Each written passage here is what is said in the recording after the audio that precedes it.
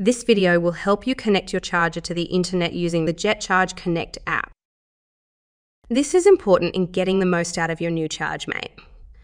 Being connected to the internet means you can control your charging remotely, set charging times, and even adjust your charging rates to suit your needs, all from your smartphone. There are three ways to connect your charger to the internet Wi Fi, Ethernet cable, or a dedicated modem with a SIM card. Typically, your installer handles the Ethernet and modem connections. Today, we'll focus on Wi Fi, which you can easily set up yourself. Connecting to Wi Fi is simple. First, make sure the connection is strong in the area where you have installed your charger. If it isn't, you may need a Wi Fi extender. The ChargeMate requires a 2.4 GHz Wi Fi network and doesn't work with Wi Fi mesh. To connect to Wi Fi, open the JetCharge Connect app on your smartphone.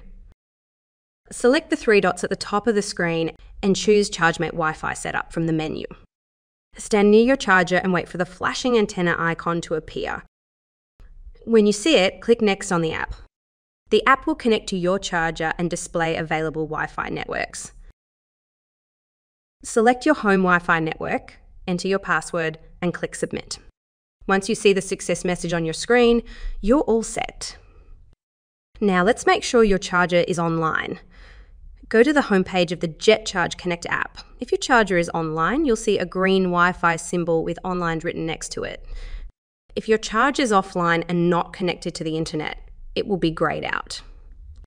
If your charger is offline, don't worry.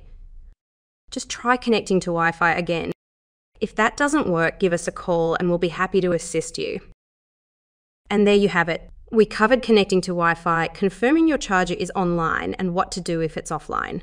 Thank you for watching.